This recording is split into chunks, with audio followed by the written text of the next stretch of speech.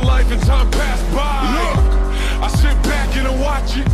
Hands in my pockets. Wake them crashing over me, but I just watch them.